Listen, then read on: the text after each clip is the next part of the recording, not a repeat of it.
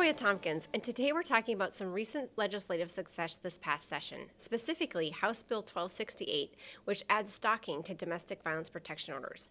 We're going to touch base with three individuals specifically who helped make this bill become a law. So, Zach, I think I want to start off by a representative Ista. I guess I should say in oh, this Zach forum. just fine. I think I should first off say thank you, um, just for everything you did for not only CVIC but the whole state. You were felt like you were in lockstep with us. I know there was like 900 bills that hit the floor throughout the session, but you were able to help us with actually two very important ones. The first one being um, House Bill 1268, which adds stalking to domestic violence protection orders. And maybe you can just um, start off by explaining explaining um, what changes were proposed and why this is important because a lot of people don't even know that that wasn't in a domestic violence protection order previously. Yeah, that's exactly right. And it really was my pleasure and an honor to partner with CVIC in so many important issues this session. Uh, 1268 was, was a really important one. As you mentioned, the primary goal of that bill was to add stalking as a basis under which somebody could seek that protection of a domestic violence uh, protection order. So, what we propose to do in that regard is just simply change the definition of domestic violence in the statute to include that word stalking. We already defined it in our state criminal code, so we were able to just borrow that definition. And now, going forward, those who are experiencing stalking can seek that protection uh, of a DVPO.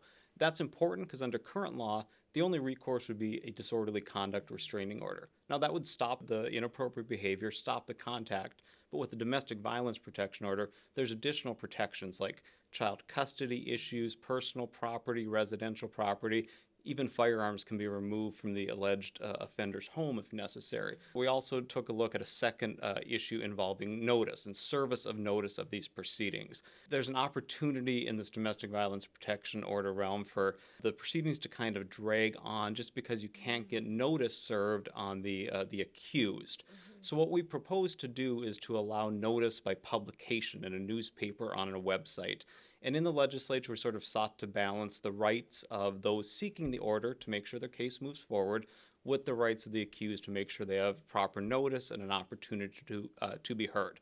We had a lot of questions from a few representatives just about that because there was a balance between both both rights, right? The rights of the accused and the rights of the the victim. So I just appreciate all the extra effort you put into that, which is actually a good segue to Laura Nash Frisch is our vice president of victim witness and visitation, and you actually helped Representative Ista um, with some of the language that went into the bill. Can you share what led up to recognizing the need for this? Yeah, so some of what led up to um, the need for this is that um, domestic violence advocates in our state are authorized to help with domestic violence protection orders and they are not allowed to assist with disorderly conduct restraining orders, which focus a little bit more on harassing behaviors and disorderly conduct. So, one of the issues we were seeing is that a victim might be um, dealing with violence in the relationship, and then when they attempt to leave, maybe there has not been a, um, a physical incident or a threat of a, a physical incident after that but they're being stalked and monitored by their partner. And so our um, advocates alone could not proceed with assisting them with that disorderly conduct restraining order, even though they were escaping an, an abusive relationship. So, this will open up the door to um, allow us to assist more survivors with that safety need and really move them to that next level of recovery and healing from um, abuse. Can you explain for those who may not be as close to domestic violence work what stalking is and why it should be considered as part of a domestic violence protection order. Yeah, stalking is legally defined as an intentional course of conduct directed at a specific person that serves no legitimate purpose and is not a constitutionally protected activity. The course of conduct is um, really two or more incidents that are kind of um, they have the same intent. It could be two or more incidences of someone followed me and they told me you're going to pay for what you've done um, to the, to our family. Those things are something that the um, legally are considered nonviolent, and so stalking ranges from um, behaviors like that to um, monitoring online accounts, tracking them through GPS, things like um, giving them unwanted gifts, uh, things that mm. might seem to the outsider to be really um, benign and non-threatening, but to somebody who has a history with that person or who has had um, just a repeated onslaught of texts and calls and and we know it's such a part of domestic violence both in the relationship and outside the relationship what can seem like small things can really turn into very tragic and awful things. So this is another tool for advocates and our agencies across the state to be able to assist them with safety.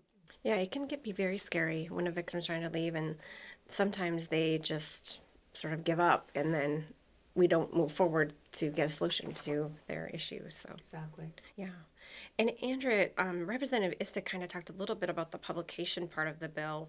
Can you speak to the importance of this change for our clients and survivors? There are big differences between disorderly conduct restraining orders and domestic violence protection orders.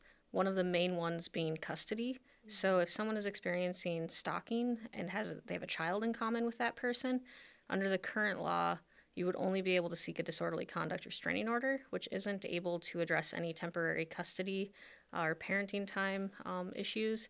And so, really, you can get that restraining order put in place, but you're still dealt with the issue of how do we parent together? How do, yep, exactly. And trying to, to work with someone you just got a restraining order against in parenting time is extremely difficult, if not impossible, um, especially without paying quite a bit of money for attorneys to be involved with all of those exchanges.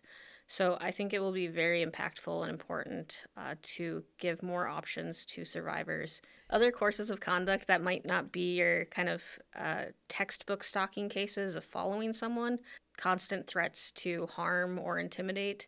Um, I'm hoping we'll also be able to come under this definition. And we've actually seen a pretty dramatic increase of cases like that where our hands are pretty tied, along with the clerk's office and the uh, judges and everyone kind of involved in the system, because there's case law that says unless that threat of violence is very imminent, that it doesn't qualify for a domestic violence protection order. So I'm really hopeful that adding stalking's definition to domestic violence protection order will allow us to get protection in some of those kind of non-traditional stalking cases as well. Well, I thank you all for giving us part of your morning today, and um, we'll just keep. We'll probably have you back in a couple years to see how it's all playing out. So, thank you.